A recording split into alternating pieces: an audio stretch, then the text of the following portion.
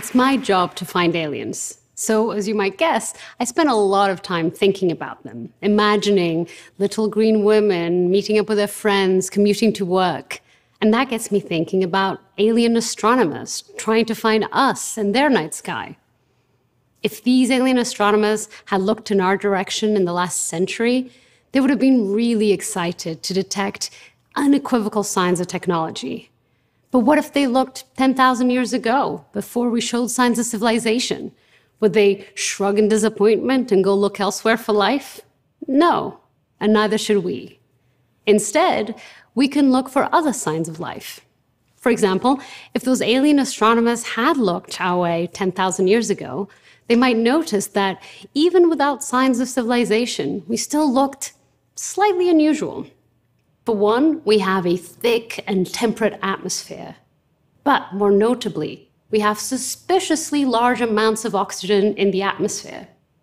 This would be a really encouraging sign of life for my alien colleagues, because the composition of the Earth's atmosphere can only sustain itself through a biological cycle.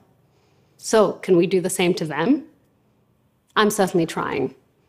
I'm a quantum astrochemist, which means I study the quantum interactions between molecules and light in space. We can't see these molecules or even the planets they're on. But when light from a star goes through an alien atmosphere, each molecule within it leaves a unique fingerprint in the starlight that I can see from here. And I look for the fingerprints of molecules that could be associated with life, or biosignatures, like complex pollutants or oxygen. In the context of Earth, oxygen is a wonderful biosignature. But oxygen is not that hard to make. So, for example, if our sun had different levels of radiation, or if our oceans were evaporating from a runaway greenhouse effect, then large amounts of oxygen could accumulate in our atmosphere without biology. And then oxygen would be a false positive for life. So maybe oxygen won't be the solution to finding life beyond Earth. But then what is? Well, my specialty is to look for unusual molecules that have fewer false positives for life, because they're so difficult to make that they're rarely made spontaneously. And my favorite of those unusual molecules is phosphine. When I first started working on phosphine about a decade ago, people had a hard time thinking of it as a biosignature at all. Instead, it was known for being this horrific, foul smelling molecule that messes with life's ability to use oxygen, making it a really effective killer. Because of this fatal interaction with oxygen metabolism, phosphine is used widely as a pesticide, and sadly, for the same reason, it was used many times in chemical warfare.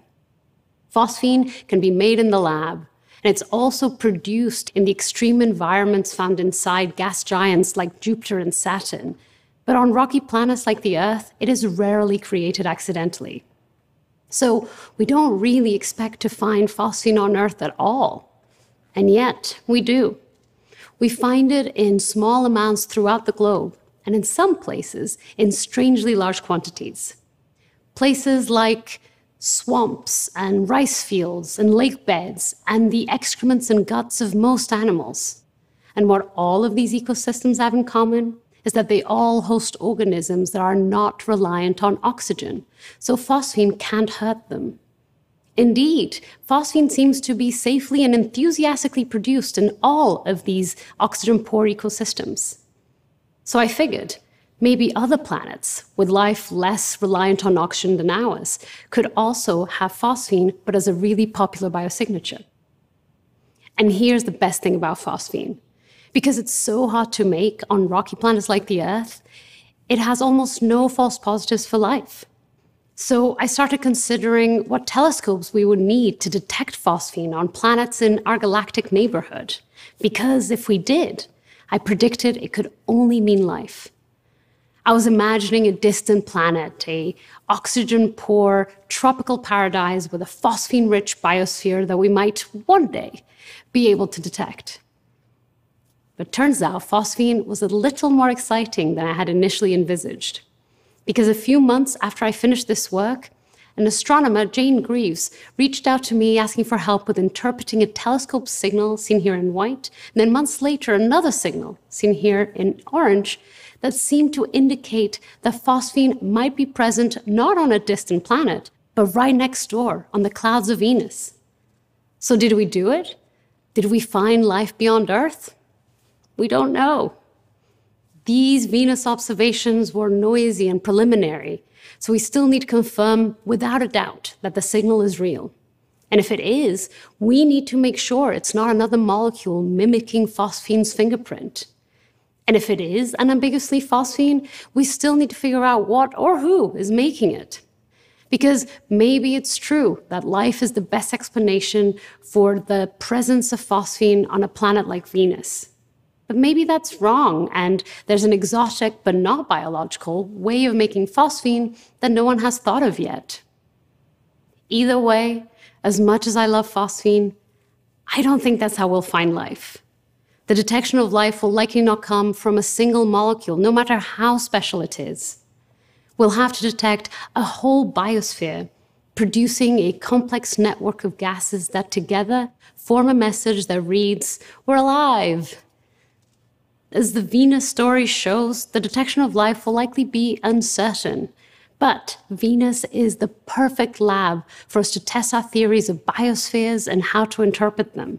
If we learn to understand the atmosphere of Venus and the message it contains, then we can find out if we got it right by going there and checking. And we'll do that at the end of the decade. But this will not be the last time that we have the discovery of a biosignature on a potentially habitable planet. And next time, we won't be able to just go there and check. So, my biggest concern is not that we will fail to find a habitable planet in our lifetimes. My biggest concern is that we'll point our very expensive telescopes directly at an inhabited planet and just not know we did it. But I am determined to not miss life. So, yes, I will look for the unambiguous but quite unlikely signs of technology like complex pollutants. And I'll look for the pleasant and familiar but potentially misleading signs of life like oxygen.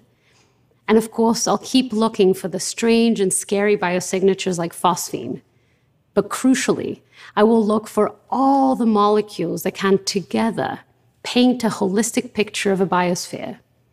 All of this so that one day we'll know life when we see it. Thank you.